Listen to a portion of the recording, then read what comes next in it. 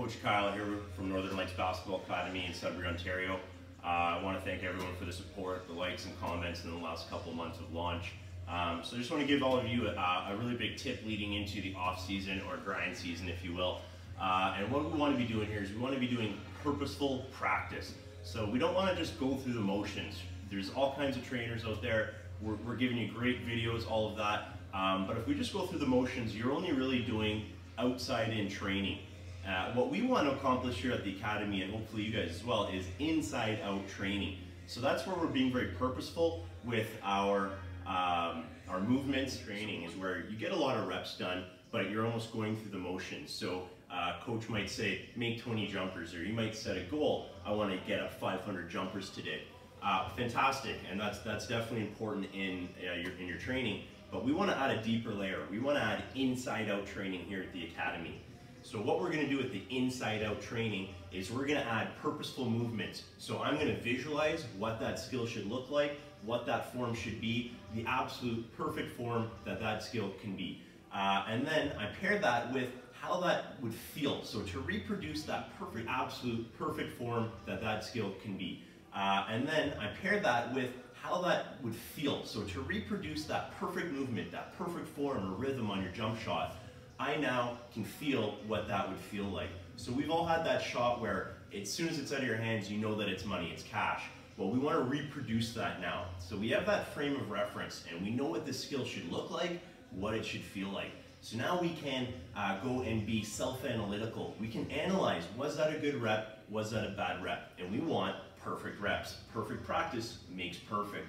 And we know no one can be perfect, but on the way, the pursuit of perfection, you will find greatness. So with being self-analytical, we also have to be very aware uh, of being self-critical. So it is a fine line.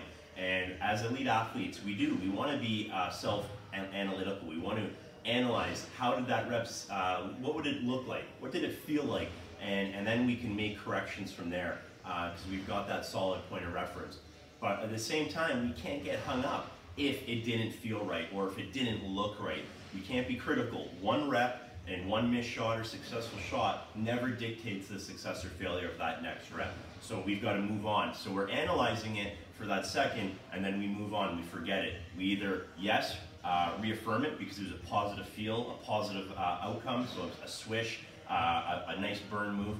So then uh, we can reaffirm that with a yes, if it was a, a not a good move, it felt uh, maybe slow or maybe a little uh, uncontrolled, then we can uh, clap, include that movement. And we're just instead of being self-analytical, which is a positive trait for elite athletes. You're reflecting back on the outcomes of uh, your training, maybe competition. So you want to hang on to reaffirm what was successful, what felt good. If it feels right, it is right. Uh, but you also want to be able to move past anything that didn't feel right or did not have a positive outcome for you.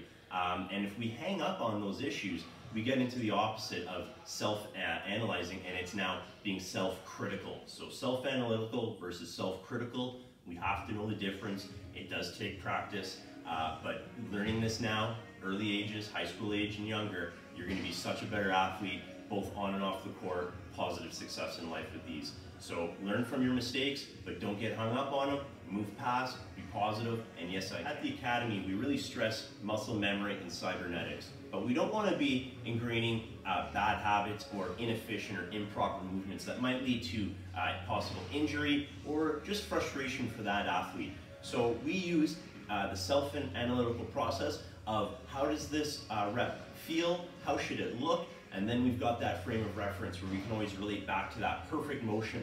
Was it that or was it not that? And the athletes can really distinguish there. That's something I want to continue. I want to ingrain that. Maybe I can leave that, that uh, rep behind. So we want to ingrain it with yes, we want to forget uh, bad movements, bad outcomes with a clear, and yes I can, we just move on to that next rep because no rep dictates the next.